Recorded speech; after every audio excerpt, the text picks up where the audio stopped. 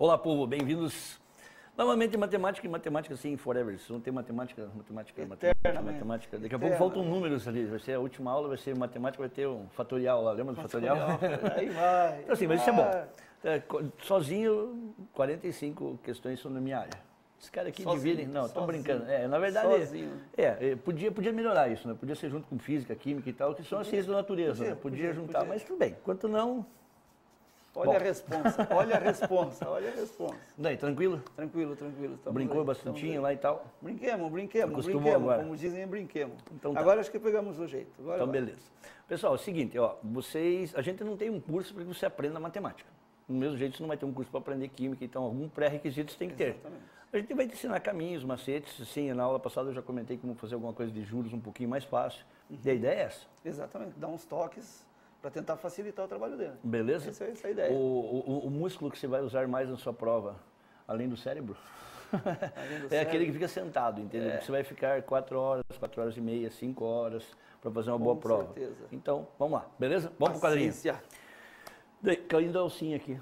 Você... Nossa, nossa. Ó, povo, é o seguinte, matemática aula 2, vamos brincar com esse troço aqui. Enem de 2014. Tio Dalton, só para você ter uma ideia, com a quantidade de aulas que eu tenho, agora eu falo com você para cá. Eu consegui fazer assim, nas aulas, a gente vai resolver todas as 45 questões do Enem de 2014, todas. Eu vou resolver. Vai conseguir? Vou. E daí mais todas as 45 questões do Enem de 2015. As de Nós vamos 2016 resolver- você não vai fazer agora. Essas eu vou deixar indicado. Deixa aquelas que eu indicado mandei. só, Tá só bom? Vamos lá, pessoal. 90 questões, então assim, dá para ficar bacana. Olha que bonitinha a nossa primeira, que no caso vai ser a quinta, porque a aula passada devia ter quatro. Vamos lá. Um sinalizador de trânsito tem o formato de um cone circular reto. Manja isso, tio Daltinho? Chique, hein? Chique, Chique, hein? né? Aquele, né? Que normalmente você vai lá, olha, a criatura faz assim. Cone circular reto. Eu acho que esse quadro aqui é bacana. Quando você não usa o quadro antes, ele tá bom. Quando você pega e regula o quadro antes, ela ficou maravilhoso. Deixa eu fazer. Isso é um abajur, professor? Boa tarde, senhora tradutora de Libras. É. Ó, bom, é, é o abajur. Então, assim, quando circular reto é aquele negócio sem a auréola. A auréola é da nossa tradutora. Achei que você fosse um chapéu, né? Não, não, é o chapéu, mas é o chapéu de burrinho. Se for aquele negócio não, da auréola, não. A auréola não. O, chapéu, o cone é o chapéu aquele que eu tinha quando eu era pequenininho. Certo, que a usamos professora bastante, mandava ir no usamos canto da bastante. sala e É, tal. É, usamos esse meu, ó. Esse meu. Daí, o sinalizador precisa ser revestido externamente com adesivo fluorescente, que é para o carinha não bater à noite naquele troço, senão ele sai atropelando. Aliás, os nossos são horrorosos aqui em Curitiba, porque eles são vermelhos, né? Então, assim... Não tem bom, como. Desde a sua base, a base do cone, aqui embaixo. que mais? Até a metade da sua altura. Opa, pera aí. Ele não vai deixar colorido todo o cone. Ele vai sair da base até a metadinha da altura. Então, olha lá. O desenho que ele vai fazer está escrito lá. Vai vir da base até a metade da sua altura. A minha altura, professor? Não, a do ô, moco. Ó, daí. Vamos lá.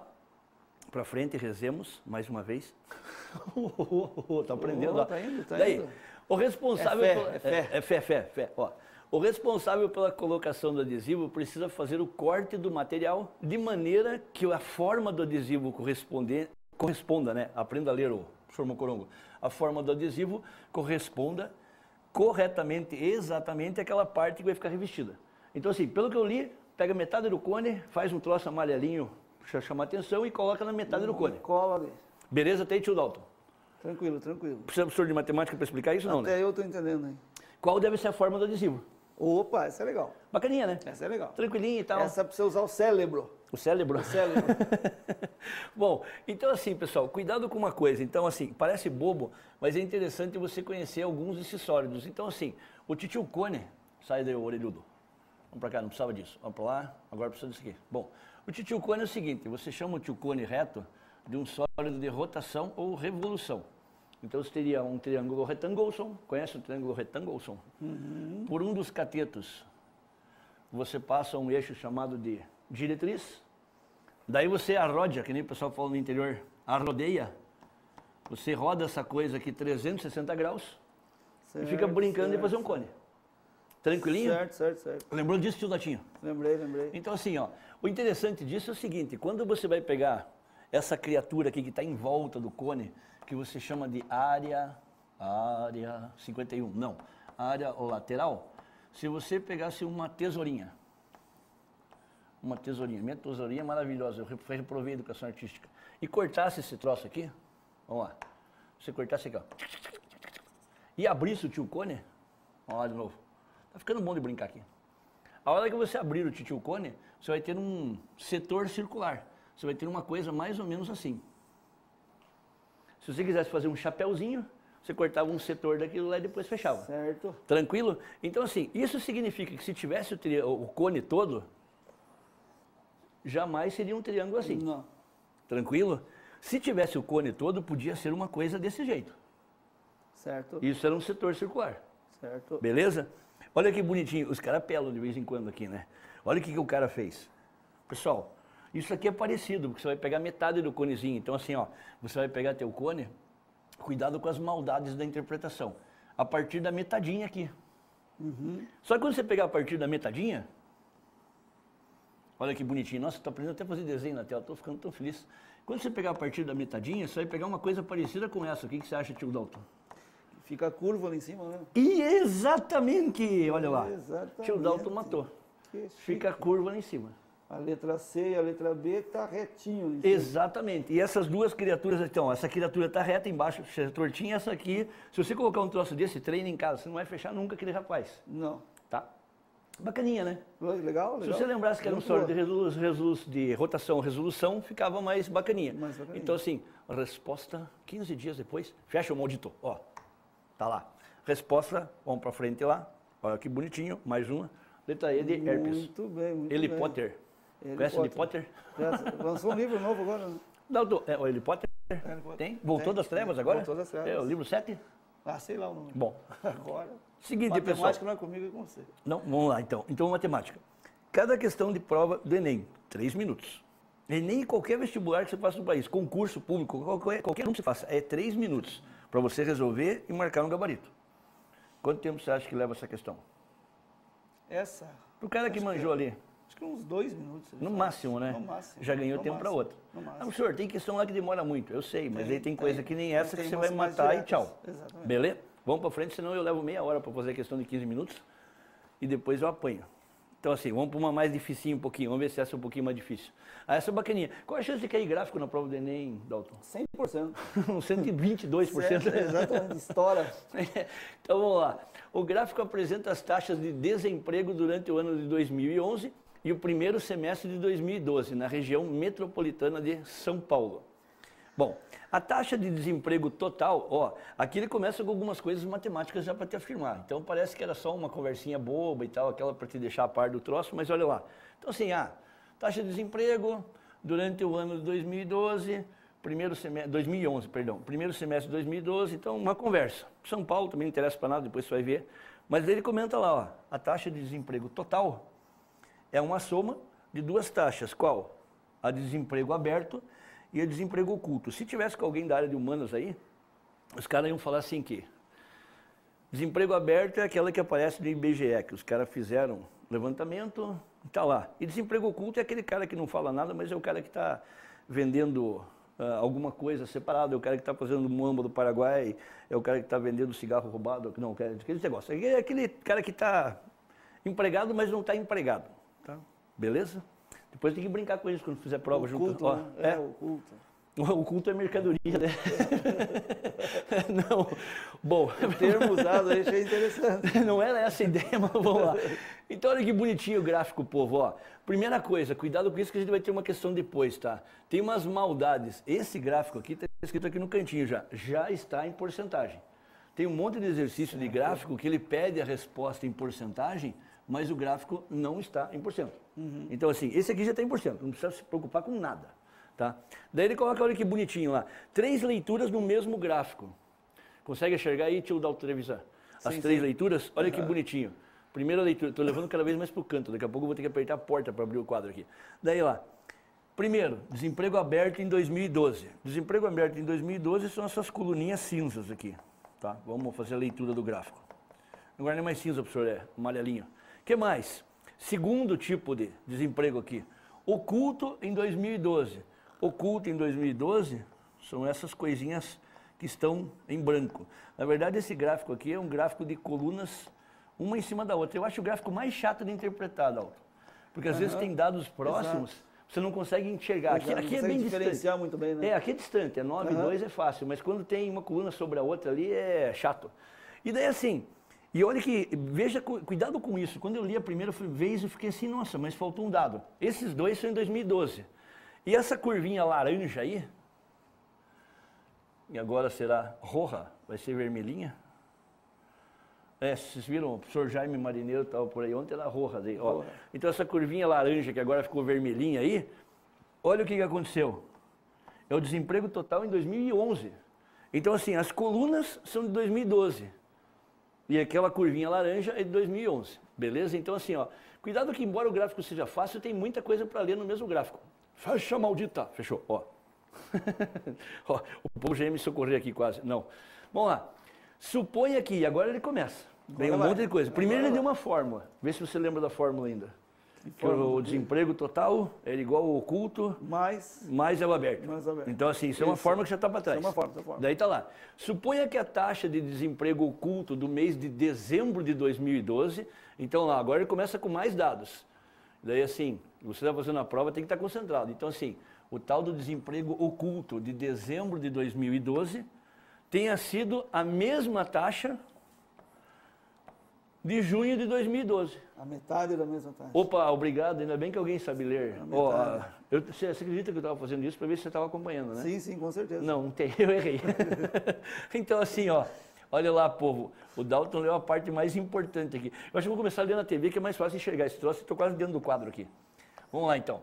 Então, assim, o desemprego oculto de dezembro vai ser a metade do de junho. E olha que bonitinho. E que a taxa de desemprego total de dezembro vai ser a mesma de dezembro de 2011. Então, assim, 2012 e 2011 vão ter a mesma em dezembro. Esse é o total.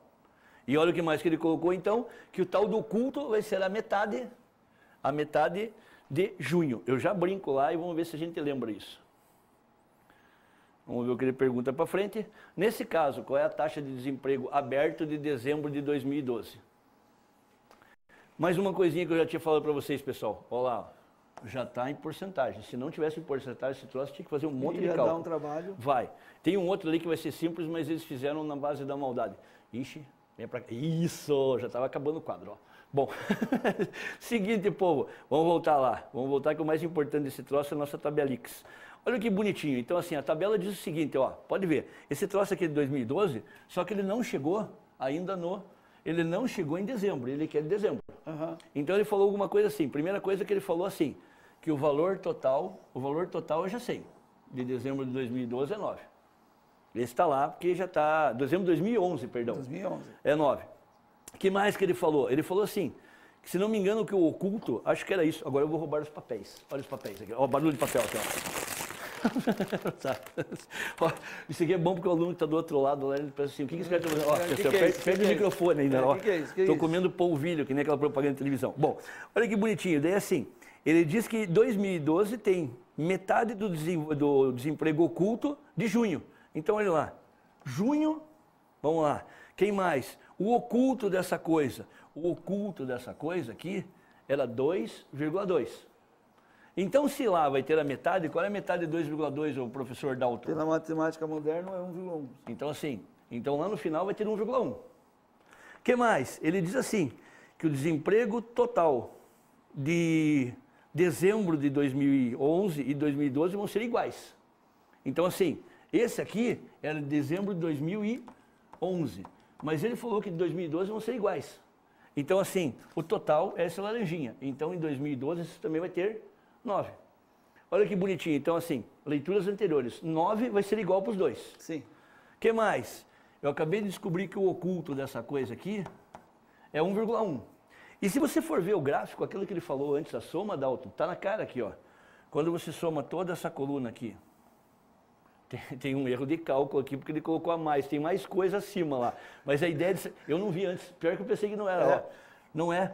Eu achei que era simplesmente a soma, por isso que o gráfico ficou por é. baixo, esquece, É, eu vou ter é. que sofrer mesmo.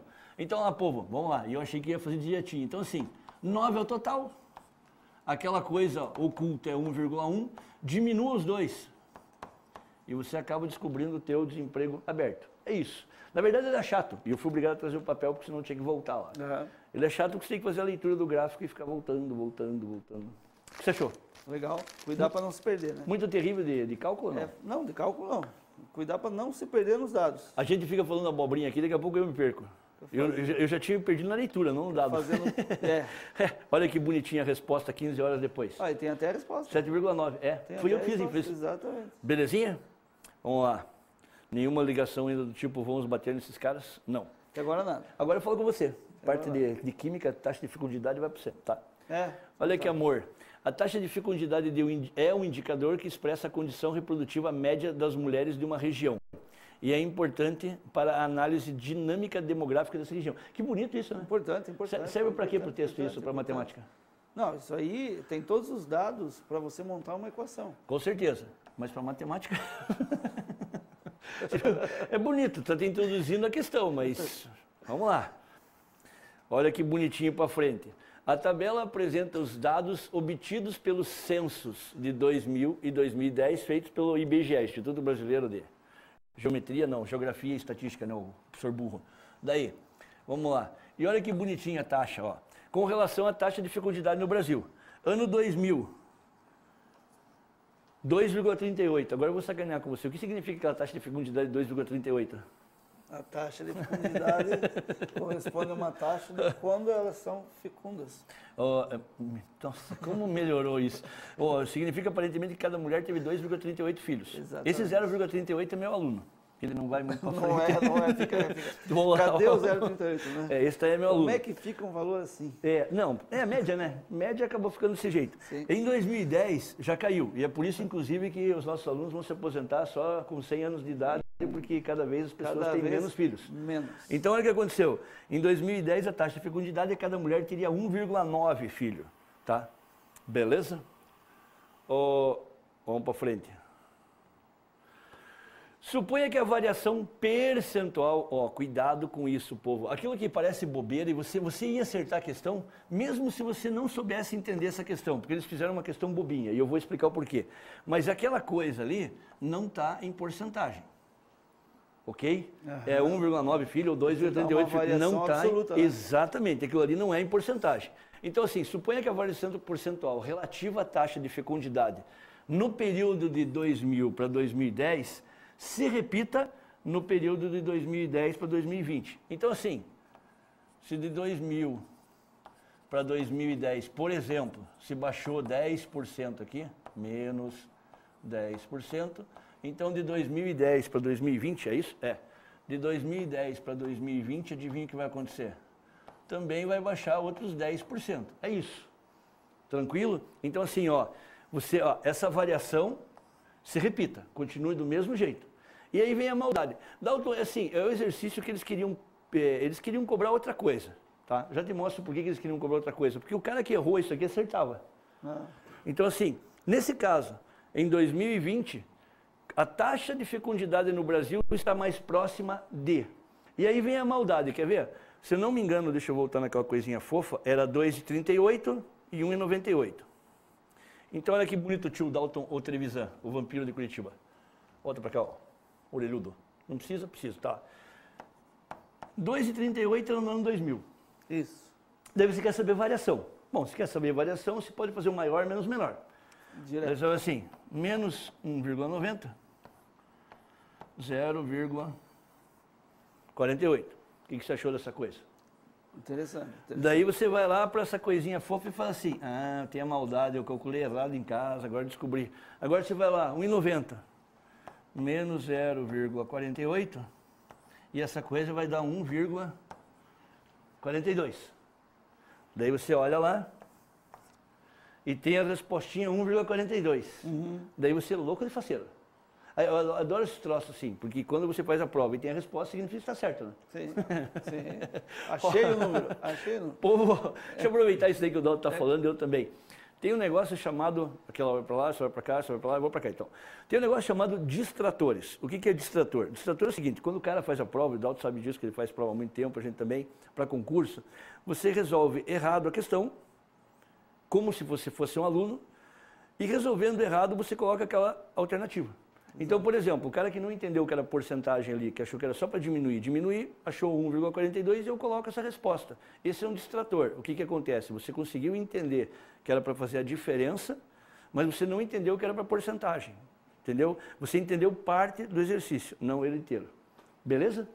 É como eu digo, você marca essa alternativa e corre para o braço. É isso. Só que não assim, tem ninguém para abraçar. Mãe, fiz o troço e tinha o número. Daí aparece o cursinho lá, coloca assim. Outro. Pô, colocaram outra resposta. Os caras erraram, né? Os caras erraram. Sai O tio Daltinho. abraço, só não tem ninguém para abraçar. Agora olha que bonitinho. Eu marquei 1,42. Opa, Opa, opa. opa. E agora vamos para os meus de cálculos. digitação, eu acho vamos que erro de meus digitação. Ó, outra vez, barulho. Bom, olha que bonitinho, povo. Essa coisa é o seguinte. Quando você tem 1,90, olha lá. Eu já explico o que eu estou fazendo. 1,90 dividido por 2,38. Dalton, eu ensinei nossos alunos a não fazer regra de 3. Regra de 3 é fim de carreira. Eu sei que você vai usar bastante química Eu tô lá. em fim de carreira porque eu mas, trabalho Não, mas com para regra de três mas pra direto. química é bacaninha, entende? É. Mas assim, para matemática, por exemplo, ó, eu sabia que 2,38 É 100%. era 100%. Então eu quero descobrir quanto que 1,90 é. X. Daí você multiplica isso aqui e vai descobrir. Só que assim, se eu quero saber quanto que 1,90 é de 2,38, eu faço essa divisão. Faz divisão. Só isso. Eu não preciso fazer regra de 3 e sair Aham. multiplicando. Quando você calcular isso, mentalmente deu De cabeça, de cabeça.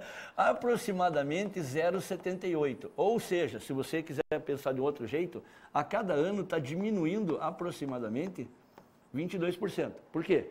Porque 0,78, tá, pessoal? Só para lembrar, é 78%. Então, assim, o que sobrou depois de 10 anos foi esse tanto em relação a isso. Sobrou 78%. Ou seja, diminuiu, Diminuiu 22%. 22. Ou seja, no próximo ano, você vai ter 1,9 vezes os 78%. Por quê? Porque só vai, sempre vai sobrando 78% do anterior, 78% do anterior, 78% do anterior. Daí eu calculei os dois. Se você calcular essa coisa assim, isso aqui deu 1,48, acho. Então, assim, horas depois, esse cara vai ser o cara mais próximo possível, deu. Desse jeito deu 1,48. que mais? E se você calcular, cadê? Na verdade, aqui eu fiz com 0,78 dá 1,48. Se você calcular arredondando, que é o que o Enem faz muito, principalmente, já te mostro cada palavra. Se você calcular com 1,9, em vez de calcular com 0,78 aqui, eu calculei 0,80 ou 80%, eu já arredondei. Se você fizer desse jeito, vai dar exatamente, adivinha, 1,52. Ele falou assim, ah, professor, mas você calculou 0,78 e não deu exato lá. Não, não deu. Então assim, mas olha que bonitinho que tem lá, quer ver? Tem uma palavrinha fofa que acompanha esses troços sempre. Tenta adivinhar qual é, tio Dalton. A tua palavrinha fofa. Do que, do que, do que, do que? Olha que bonitinho. A resposta exato? ma- é, É exato? A resposta mais próxima é. Então, assim, se você deixou sem arredondar, deu isso, e arredondando, deu isso. Então, assim, sem arredondar, deu isso. Ah, mas não tem isso. Mas é mais próxima. É mais próxima de 1,52 do que de 1,42. O que, que o senhor achou? Matematicamente, é um exercício muito bom. É, ele, ele é um exercício, assim, ele parece bobo, pô, mas não Parece. é. Cuidado com esse troço. porcentagem. E- e- Eu já fiz uns três ou quatro exercícios nesses 18 anos de Enem, desde 1998, que ele pede para diferença em porcentagem. Ele já é meio padrão. E você vai direto com o número e arrebenta. Arrebenta. Entendeu? Esse é para pegar jacu na curva, como dizem. É Explique, tipo, você que é mora no interior, é explique isso. né? Beleza? Vamos lá. Jacu é passarinho, né? É um passarinhão. Ah, então tá. Bom, vamos para frente, Piauí, tá lá. E a última, você viu? Couberam quatro. Olha que amor. O que, que minis- é tecnologia? Não é tecnologia nada, é só sair não. correndo. o Ministério da Saúde e as unidades federadas promovem frequentemente campanhas nacionais e locais de incentivo à doação voluntária de sangue. Hein? O pessoal aqui do estúdio falou que não pode doar sangue, que eles têm muito álcool no sangue. Ó. Em regiões com menor número de doadores por habitante. Então, assim, ó, aonde que eles vão doar sangue? Nas regiões que têm o menor número de doadores por habitante. Onde não tem doação de sangue, eles promovem campanha para ter doação de sangue. Acho meio não- óbvio, né? Eu Acho acho que que, é meio óbvio, assim, né? os caras vão fazer campanha onde tem, eu acho que não precisa, né? Acho que não, né? Daí, com o intuito de manter a regularidade dos estoques e blá blá blá. O que que é hemoterápico aí, ô, tio Dalton? Hemoterápico, serviços que lidam com sangue terapia, usando sangue hemoterápico, É traduzindo isso. O cara, quando sabe o latim, ele mata os troços, né? É grego, Ah, né? Daí, em 2010 foram recolhidos dados sobre o número de doadores e o número de habitantes de cada região, conforme o quadro seguinte. Opa. Quando você olha o exercício passado. Não, quando você Ah, olha o não, vou exercício passado. Não, o exercício passado é bobo. Mas na hora de resolver é idiota. Nervoso, nervoso. Sabe? Ele é assim, você vai fazer, tem que fazer trabalho pra caramba. Aliás. E esse aqui, o quadro é Esse- gigante. Daí você esse fala assim, aí- vou levar três aulas pra fazer. Esse assusta. Mas assim, olhem para cá e depois eu explico o porquê. Olha que bonitinho aqui, doadores por habitante. Olha que amor, isso aqui é o total. 1,9% é a média do Brasil. Beleza? Certo, certo. Agora olha a média pelas regiões. Sul, Sudeste, 1,5, 1,5, 1,9. Bom, se você ler o texto certinho, você já falou que eles vão fazer campanha onde a doação é pouca. É o que ele falou. Se você quer saber se é pouco ou não, você vê a média e vê quem está abaixo da média. Então, para frente. Olha que bonitinho. Os resultados obtidos permitem que nos estados, municípios, blá, blá, blá, blá, blá, blá, blá, blá. Ai, ai, quanta coisa. Vamos lá. Frente. As regiões. Não, peraí, eu acho que eu matei uma aqui. A campanha deveria ser intensi- intensificada nas regiões em que a percentual de doadores por habitantes. Olha que bonitinho, tio Ah, Dalton. ele entregou o jogo. Exatamente, ó. Ele entregou o percentual tinha que ser menor ou igual do que a média do país. É isso. É isso. E daí a pergunta, Agora, comparar números. a pergunta é exatamente as regiões brasileiras onde deve ser intensificada são e daí tem as respostinhas. Olha que bonitinho, povo. Por isso que eu falei para vocês. Às vezes o exercício é bobo, mas se sofre para fazer. É. E esse cara aqui que tem um quadro gigante, você pensa que vai passar o resto da vida fazendo? Era assim. Vamos lá. Aquilo que eu falei para vocês, se a média do país é 1,9, quem que tem abaixo ou igual a 1,9? Bom, Nordeste é abaixo de 1,9, então entra. Norte é abaixo de 1,9. Abaixo quer dizer mais menor, professor? Hum, de bom. É, tá. Sudeste, 1,9. Ah, não é menor, mas ele falou menor ou igual. Ou igual. Daí, centro-oeste não precisa porque está acima da média, sul não precisa porque está acima da média. Resposta: nordeste, norte e sudeste. Professor Dalton, precisava saber matemática para fazer isso? Hum, tem que saber o que é maior e o que é menor. Em porcento, né? nordeste, norte e sudeste. Então lá, nordeste, norte e sudeste. Nordeste, norte e sudeste. Nordeste, norte e sudeste. Cadê essa porcaria? Ó, nordeste, norte e sul. Tá lá. Letra B de abóbora. É isso? Vamos ver se funfa isso. Aê, E aí? Aê. Tranquilo? Pessoas que sabem andar e respirar respondiam essa, né? Questãozinha ordinária, mas sem mascar chiclete. Sim, sim, sem vergonha, né? Mascando chiclete não sai. Então tá. Pessoal, espero que tenha contribuído, espero que tenha ajudado vocês, mas assim, não se impressione que as primeiras questões são fáceis, mas a partir da semana que vem, pancada, tá? Aí vai ficar mais nervoso. Abraço a todos, daqui uns minutinhos, a dupla de hoje. Hoje vem o, o MM, Hoje é meme. é Marlon e Marlos. Beleza? Abraço, povo. Até mais.